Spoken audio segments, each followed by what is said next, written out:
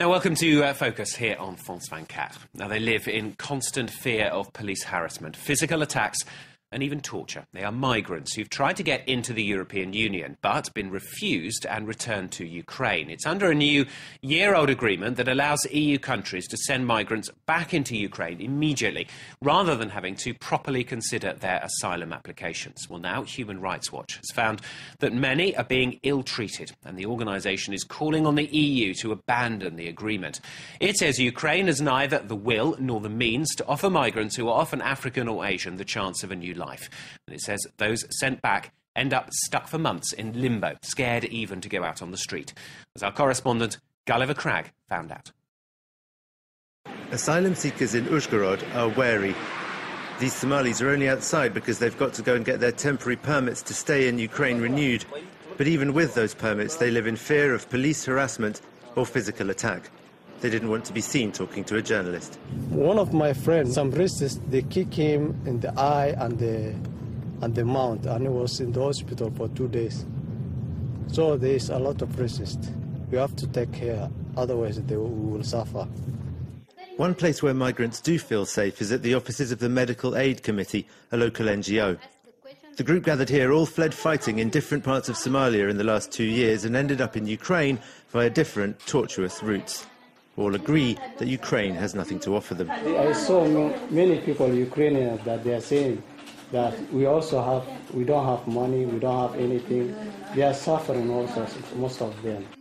Yet those who do make it across the nearby Hungarian and Slovakian borders are sent right back.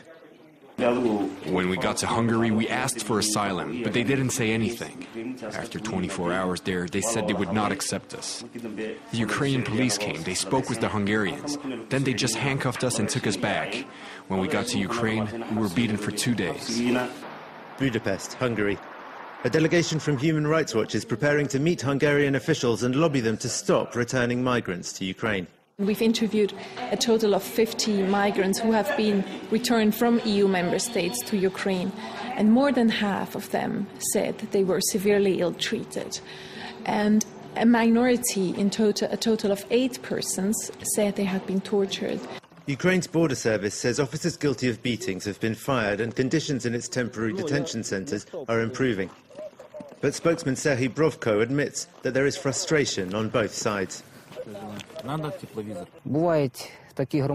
Sometimes there are individuals who will fake some kind of illness and demand to see a doctor every five or ten minutes.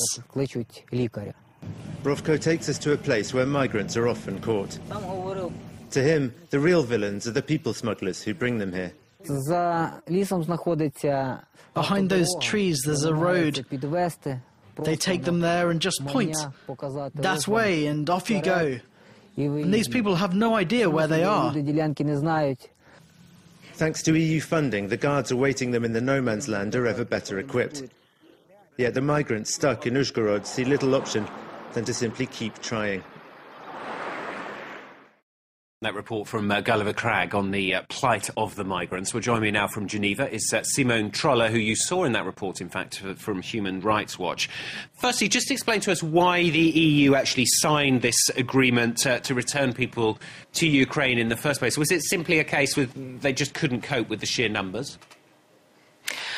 Not really. I mean, Ukraine is not a major entry gate into Europe. It is an important entry gate.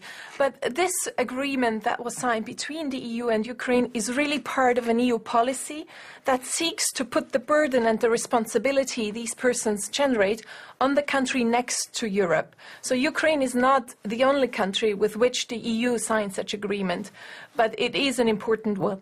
It doesn't seem to be working in this case, though, does it? Well, the problem is really that these kind of agreements are based on the notion and on the assumption that Ukraine guarantees a fair treatment to persons returned from the EU. And our research clearly has shown that this is not the case. So, what have you found? Well, we found that a a strong majority of persons who have been returned from Hungary and from Slovakia to Ukraine have been subjected to either severe ill treatment in most cases, and in some cases to even torture uh, through electric shocks. And why do you think it is that bad? Well, you have to understand the context in which those kind of abuses are taking place. Ukraine is under a lot of pressure from the EU to stop the flow of migrants towards Europe, and it has also received a lot of money to do so. And it is in that context that those kind of acts are taking place, and unfortunately, one has to add that um, those acts happen in a climate of impunity with a very limited capacity of the judicial system in Ukraine to hold those who commit such acts of torture to account. And presumably also difficulties with the Ukrainian people as well for those people who've been returned on the ground. Well, clearly, um, Ukraine has and is continues to be a country of emigration rather than of immigration. So there is, you know, a, se- a severe difficulty for people, especially of dark color, to integrate, and they face uh, a lot of difficulties on a daily basis um, in Ukraine. But that just comes on top of the lack you know, of protection and the lack of a secure environment for them in Ukraine in the first place. So who do you blame for this? Is it, is it simply Ukraine's fault? No, clearly, I mean, we say this is a consequence as well of the U- European Union's efforts to stem and to divert the flow of migrants and of the Un- European Union's assumption that Ukraine is able and capable of treating every person in a humane way. So we put the finger as much at the EU as much as we put it at, at Ukraine.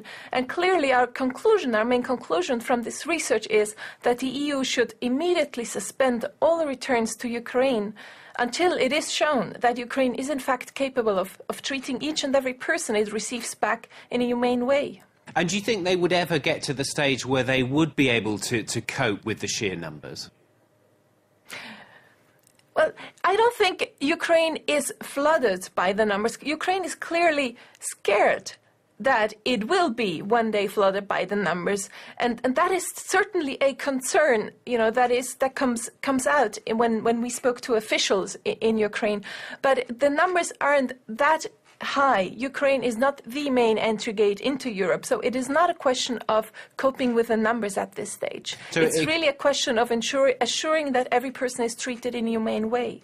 So it could be uh, just a, a, suspension of the agreement, maybe, while, while something is put in place. Well, what we say, well, we say Europe has a legitimate right to control its borders and to control persons who, who, seek to enter to enter Europe. But that right cannot come at the expense of a person's well-being. So if Ukraine is capable of protecting refugees, of treating every person in a humane way, then we do not necessarily see a problem of returning persons to Ukraine. But again, this is not the case. And finally, uh, I mean, you know, we, we have uh, made a lot of criticism of Ukraine. You've also alluded to the fact that it, it's partly the EU's fault. But presumably, the EU, when it brought this in in the first place, it should really have carried out some, some better checks, if you like, to, to ensure um, that people were, were not going to be abused in this way. Uh, and therefore, the fault really lies with the EU. Well, we would say partly the fault lies with the UN, with EU member states who send migrants back to such risks, the risk of being severely ill treated and of being tortured. That is clearly the case, yes. Simone Troller uh, joining us there from uh, Geneva from Human Rights Watch. Thank you very much for uh, speaking to us here Thank on France 24. And that was uh, today's focus. More news coming up. Stay tuned.